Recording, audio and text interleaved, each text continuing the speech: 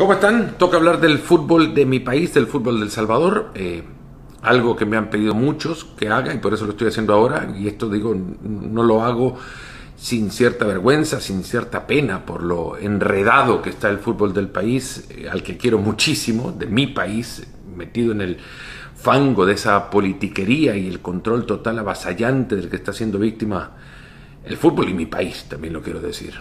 El, el fútbol como juego, Digo, porque la estructura del fútbol, lo que rodea el fútbol en El Salvador huele a podrido desde hace ya muchísimas décadas y necesita de un correctivo. Se tiene que arreglar, pero jamás, jamás, nunca se debe hacer a la fuerza y con herramientas que atropellan a la institucionalidad y sobre todo, nunca se debe dejar de hacer política. La política bien hecha, la relación entre poderes, para permitir el correcto gobierno de asuntos de interés. Eso es política. En este caso, el fútbol de El Salvador, el deporte más popular de mi país y sin duda, eh, sin duda alguna, el de mayor interés, merecía de la actuación de políticos bien intencionados y de dirigentes bien capacitados. Este proceso, este fango, carece de los dos. Y ante esto, eh, ante el interés de individuales, de poder absoluto de parte de los representantes del Estado y ante la incapacidad notoria y deseo permanente de perpetuarse en el poder de los dirigentes del fútbol, pues era inevitable caer en esta cancha llena de lodo y tirándose patadas de un lado para otro. Así el fútbol salvadoreño está detenido hasta nuevo aviso.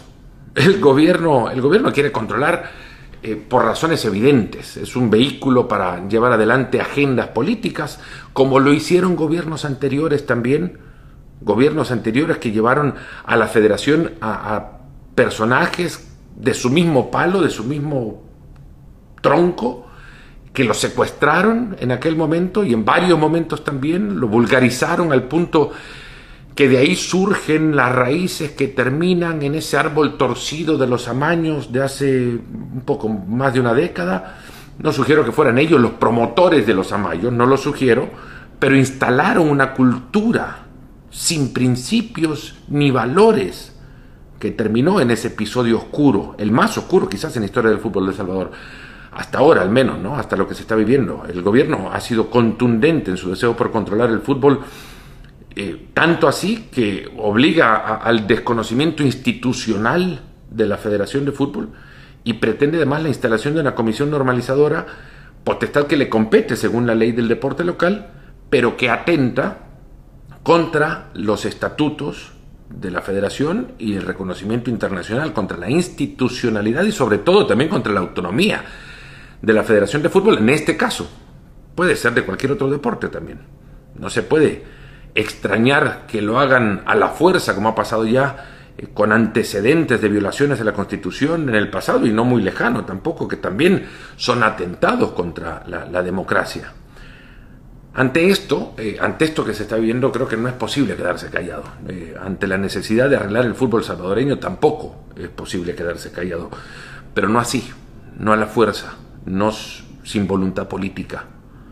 Lo que va a pasar es que el fútbol salvadoreño ahora se va a convertir en un eh, conejillo de indias, de otros intereses, intereses que pretenden enfrentar a la FIFA directamente y contrarrestar esta posición dominante de la FIFA en el fútbol. Los caminos conducen, a mí me parece, y lo, interpreto así, a un caso bien armado, a que un caso bien armado llegue al Tribunal de Arbitraje del Deporte Mundial, al TAS, decida y se establezca un precedente. Y si FIFA pierde este caso, puede perder esa posición dominante y, puede perder la autonomía de sus federaciones a nivel mundial, abriendo así paso a la creación de poderes que controlen el fútbol sin tener que pasar por la FIFA. Ojo, el Salvador es ahora mismo un campo de juego de una guerra fría en el fútbol. Lo que pasa es que quizás no nos damos cuenta o no lo queremos ver.